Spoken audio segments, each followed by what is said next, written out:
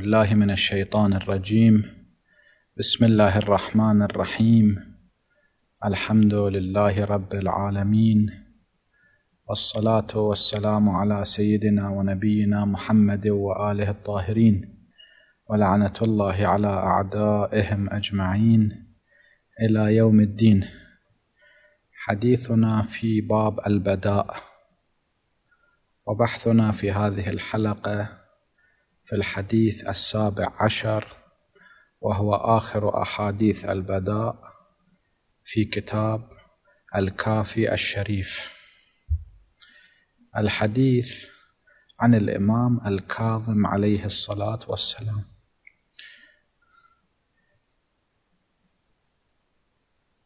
ذكرنا في الحلقات الماضية أن البداء بمعنى إيجاد تقدير بعد أن لم يكن ذلك التقدير.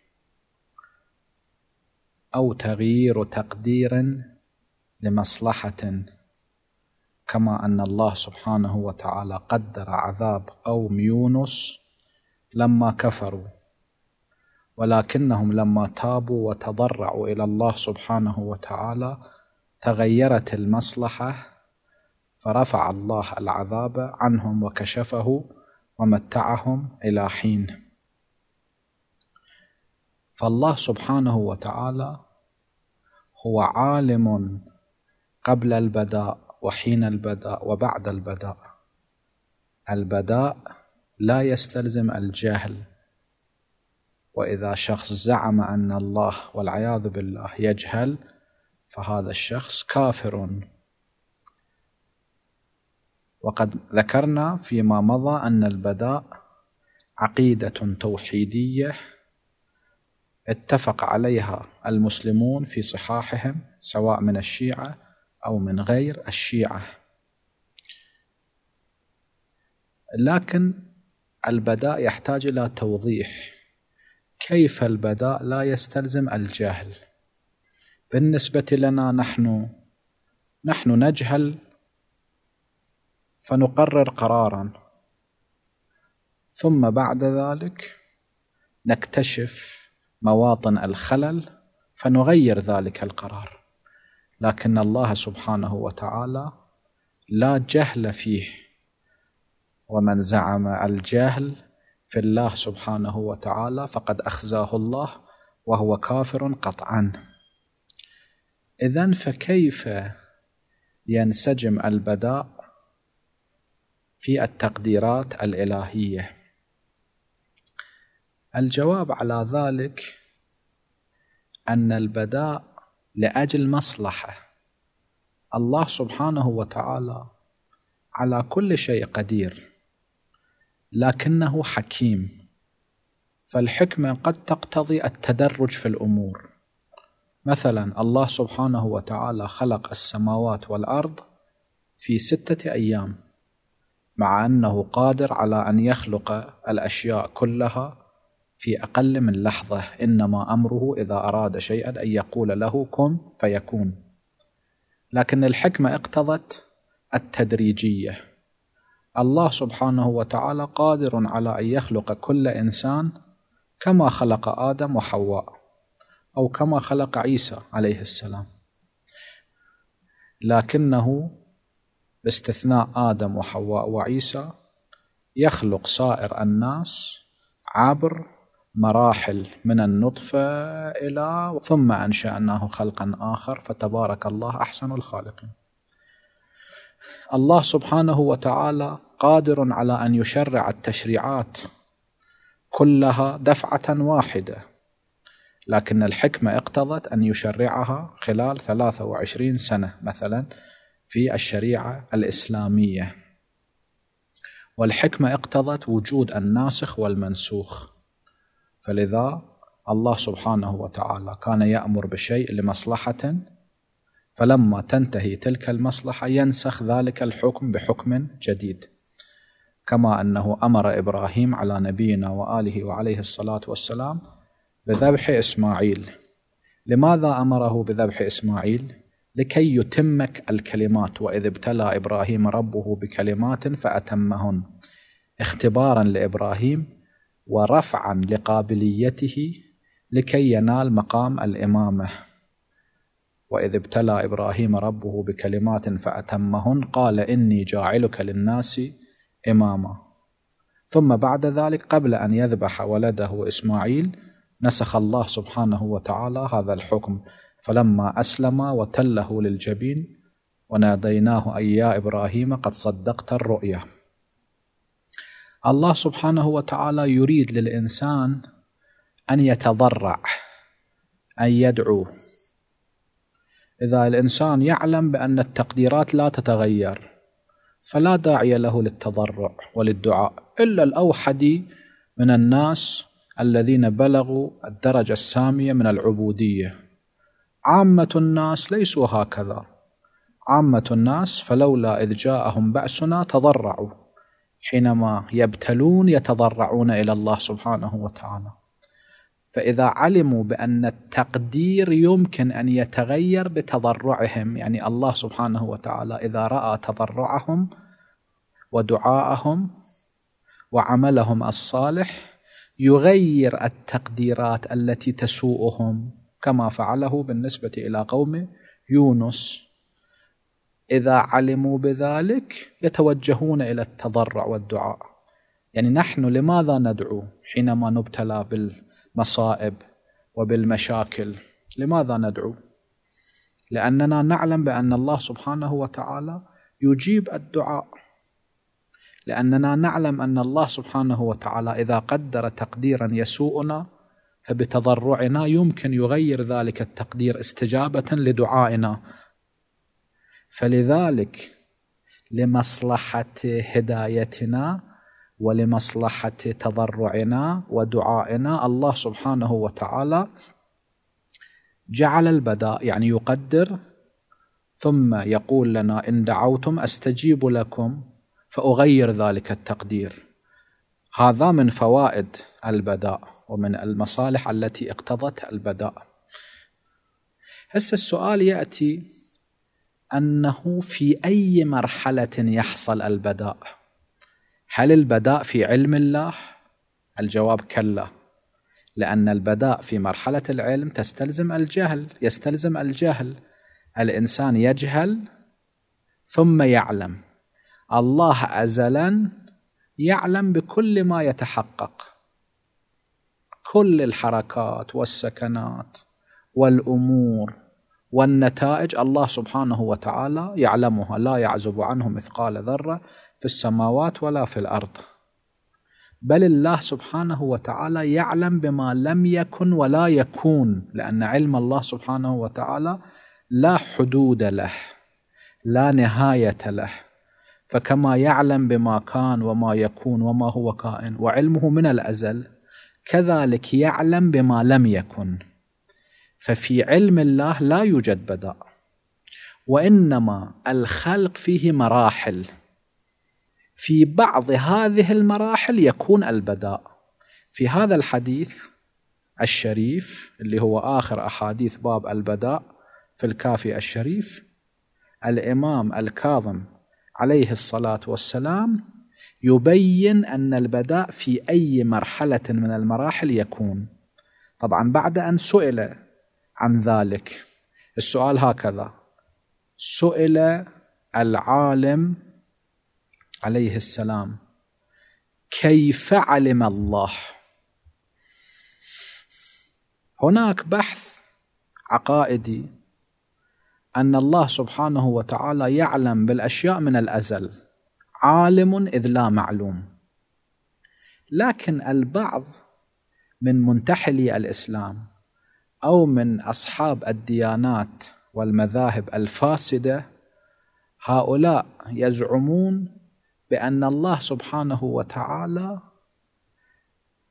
علمه إنما هو بعد خلقه للأشياء. يعني هكذا يزعمون. والعياذ بالله من كفرهم.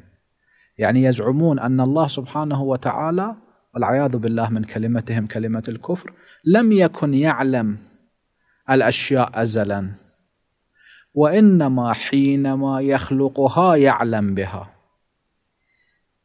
وهذا كفر صريح لكن العقيدة الفاسدة إذا تم الاستدلال لها بمغالطات وخاصة إذا كانت هذه المغالطات بالنسبة إلى آيات قرآنية بتفسير مغلوط هنا يحتاج إلى البيان الصحيح. هم في تفسير الآية وهم رد الشبهات العقلية. زين فهذه الشبهات سببت أن يجون يسألون عن أن العلم بعد خلق الأشياء أو قبل خلق الأشياء. ونسبة البداء إلى العلم شنو هي؟ الإمام عليه الصلاة والسلام يجيب بأن مراحل الخلق سبعة مراحل أو ستة مراحل. أولا العلم وهذا العلم لا يرتبط بالخلق لأنه الله سبحانه وتعالى أزلا يعلم وعالم إذ لا معلوم. عكس من يقول إن العلم هو علة الخلق. لو العلم علة الخلق الله سبحانه وتعالى من الأزل يعلم. فإذا علة الأشياء من الأزل والعلة لا تنفك عن المعلول فإذا الأشياء تكون من الأزل. وهذا كلام باطل لأنه من ضروريات الدين أن العالم والأشياء محدثة ليست أزلية. فالعلم ليس علة بالمعنى الفلسفي المنطقي للعلة. العلم ليس علة لوجود الأشياء. لذا الله من الأزل يعلم بكل الأشياء وهذه الأشياء لم تكن موجودة كانت معدومة. عالم إذ لا معلوم. فإذا الله سبحانه وتعالى علمه هذه علمه عين ذاته. والله سبحانه وتعالى يعلم بالأشياء التي سيوجدها والتي سلا سوف لا يوجدها. يعلم بكل ذلك. هنا لا معنى للبداء لأن العلم لا بداء فيه. تقول علم الله سبحانه وتعالى يتغير ما له معنى. علم الله لا يتغير لأنه ذات الله سبحانه وتعالى وذات الله غير قابلة للتغير. فإذا لا معنى في البداء في مرحلة العلم. ثم بعد ذلك الله سبحانه وتعالى خلق اللوح المحفوظ. وفي بعض الروايات اللوح والقلم ملكان ملك من الملائكة. فالله سبحانه وتعالى سجل في اللوح المحفوظ يعني أمر الملك الذي هو القلم أن يسجل على اللوح الذي هو ملك آخر أن يسجل عليه كل ما سيتحقق. وهذا يعبر عنه بالمشيئة. خلق الله الأشياء بالمشيئة وخلق المشيئة بنفسها وهذا حديث قد مر مفصلا. فسجل في اللوح المحفوظ كل التقديرات وسجل ما فيه البداء من التقديرات. يعني الله عندما سجل في اللوح المحفوظ أنه هناك تقدير بعذاب قوم يونس وسجل تحت ذلك مثلا بأن هذا التقدير سيكون فيه البداء لأنه اللوح المحفوظ متطابق مع العلم الأزلي. هذه المرحلة الثانية. في هذه المرحلة الثانية يمكن أن يسجل البداء. يعني الله سبحانه وتعالى يسجل يعني يأمر الملك الذي هو القلم أن يسجل بعذاب قوم يونس ويسجل بأن هذا العذاب بسبب تضرعهم سيرتفع. المرحلة الثالثة الإرادة. الإرادة بمعنى تحريك الأسباب وتهيئة المقدمات القريبة. المشيئة وجود إنشائي كتبي. لكن الإرادة هي تحرك عملي. يعني مرة أنت تكتب في ورقة شيء مرة تتحرك ضمن ما كتبته في تلك الورقة. ما سجل في اللوح المحفوظ تسجيل كتابة. لا يرتبط بالخلق الخارجي لكن الإرادة ترتبط بأن الله سبحانه وتعالى خارجا يهيئ الأسباب. يعني مثلا الله سبحانه وتعالى من الأزل يعلم بأنه سيخلق زيدا. ثم حينما خلق اللوح المحفوظ سجل في اللوح المحفوظ أنه سيخلق زيد في الوقت الكذائي من آب وأم كذائيين مثلا. زين. مقدر أن زيد يولد مثلا في سنة 1400 للهجرة مثلا. حينما يقرب هذا الوقت الله سبحانه وتعالى يهيئ الأسباب. يعني مثلا يهيئ الأسباب أن والد زيد يتزوج مع والدة زيد لأن الله سبحانه وتعالى مع قدرته على خلق الأشياء بدون أسباب. لكن الحكمة اقتضت أن يخلق الأشياء عبر أسبابها. زين. فوالد زيد يتزوج والدة زيد مثلا. ثم الله سبحانه وتعالى العناصر المختلفة التي قد قرر أن يتكون منها زيد. لأن الإنسان يتكون من عناصر مختلفة. هذه العناصر المختلفة مبثوثة على وجه الأرض. سواء في أجسام الحيوانات أو في النباتات. فالله سبحانه وتعالى هذه الأجزاء يجمعها. يعني هذا الأب مثلا وهذه الأم يأكلان الفاكهة الكذائية، اللحم الكذائي، الطعام الكذائي، هذه العناصر التي كانت متفرقة في الأرض والله سبحانه وتعالى يريد أن يخلق جسم زيد من تلك العناصر، الله سبحانه وتعالى يجمعها. فتشوف مثلا عنصر من عناصر وجود زيد موجود في الفاكهة الفلانية التي زرعت مثلا في أمريكا الجنوبية. وهذا الزيد مثلا مقرر أن يولد في الشرق الأوسط. تشوف تلك الفاكهة تهيئ أسبابها تصدر مثلا تنتقل إلى البلدة الفلانية. والد زيد يروح يشتري هذه الفاكهة مثلا ويأكلها. فذلك العنصر انتقل إلى صلب زيد وهكذا عناصر أخرى. فالله سبحانه وتعالى يهيئ هذه العناصر تجتمع في صلبه يخرج من بين الصلب والترائب وكذلك بالنسبة إلى بويضة الأم. حينما تنعقد النطفة تجري مراحل أخرى. هنا مرحلة الإرادة يعني تهيئة المقدمات القريبة. هذه المرحلة الثالثة. المرحلة الأولى العلم الأزلي. هذا ما فيه بداء. المرحلة الثانية المشيئة يعني الكتابة في اللوح المحفوظ. المرحلة الثالثة الإرادة يعني تهيئة المقدمات القريبة المرحلة الرابعة التقدير.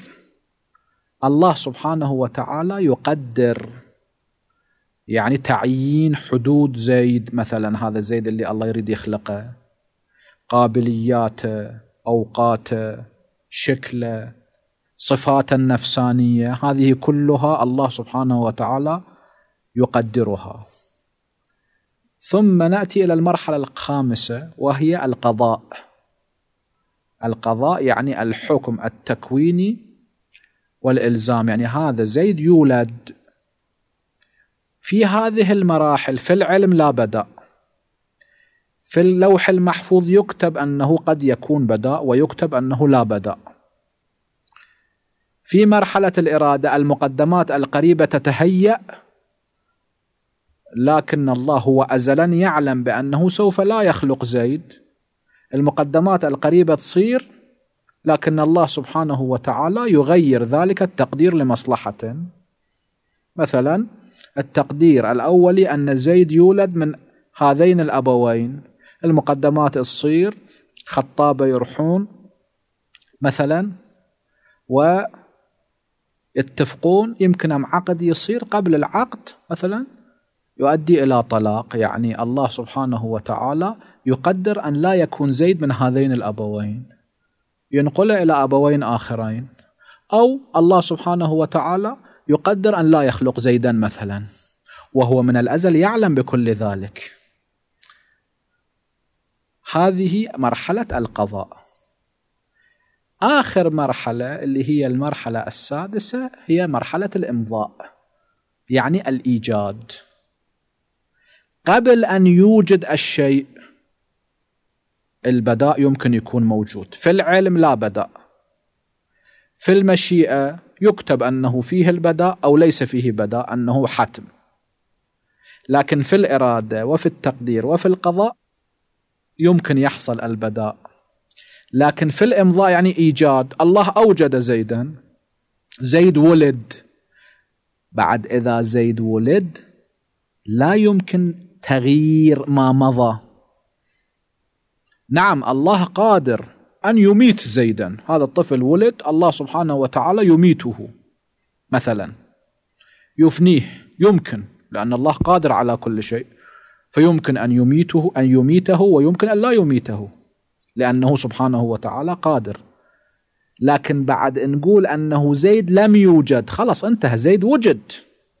والماضي لا يتغير عما وقع عليه.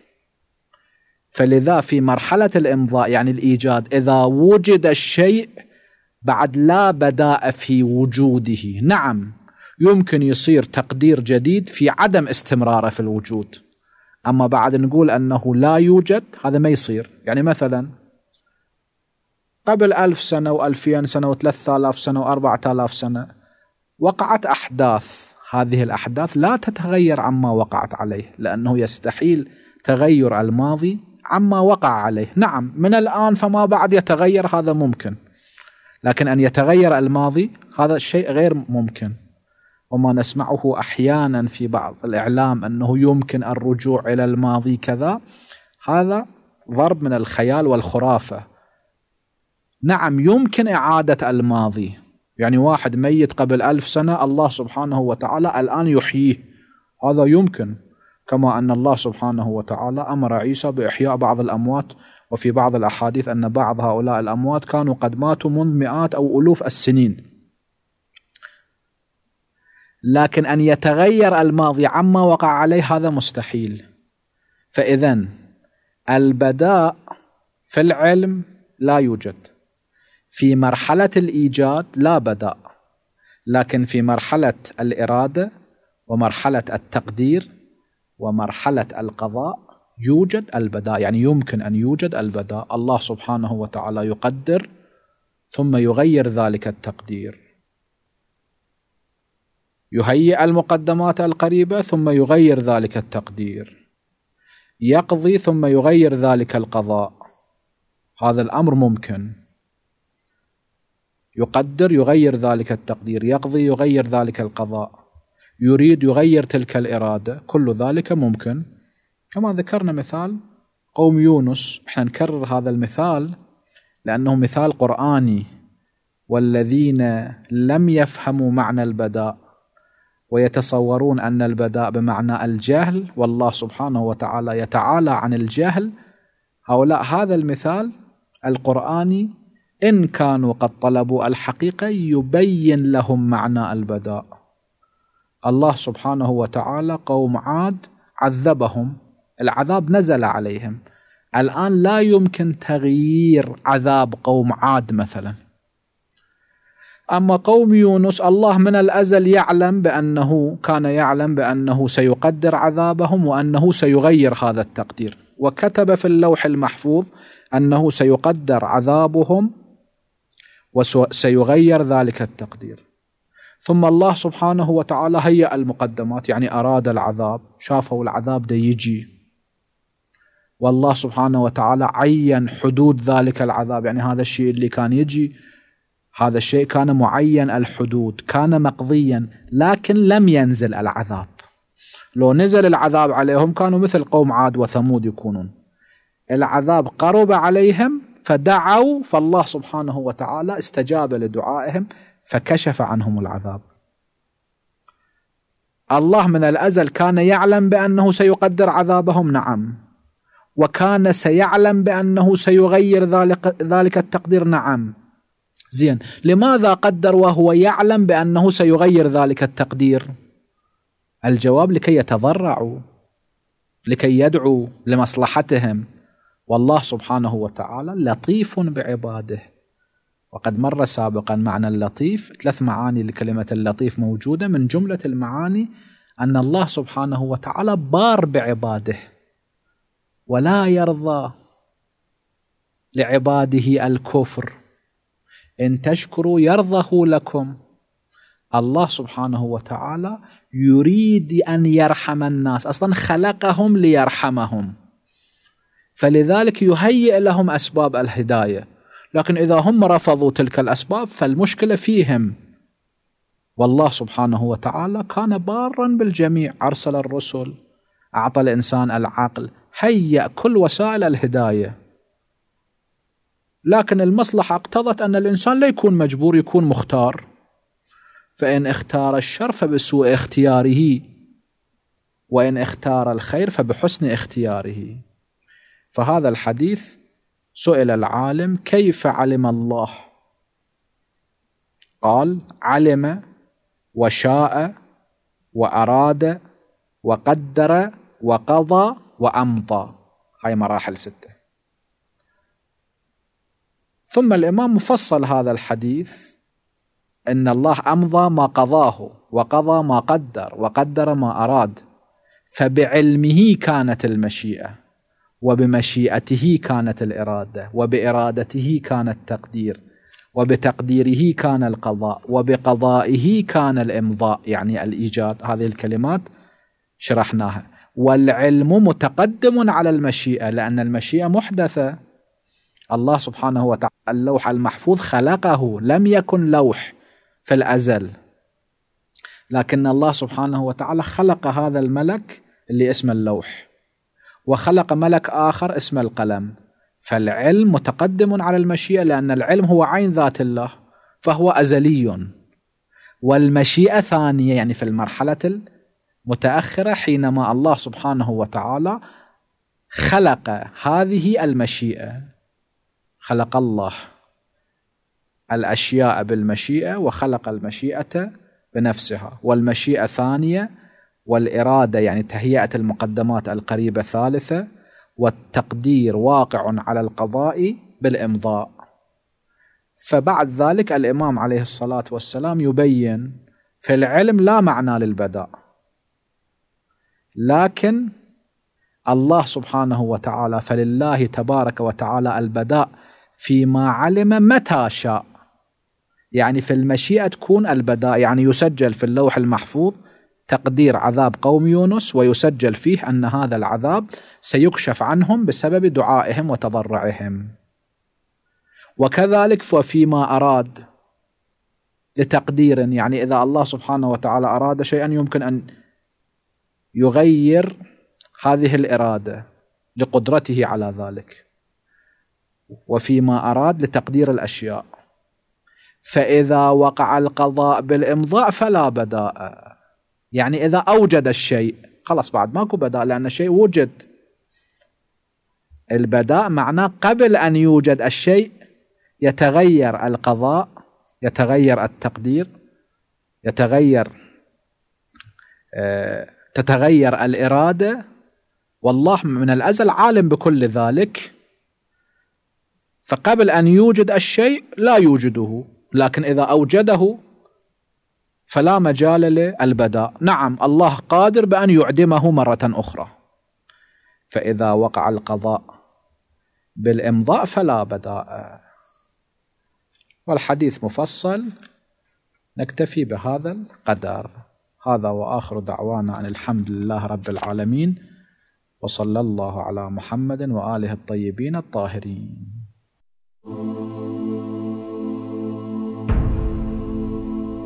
Oh.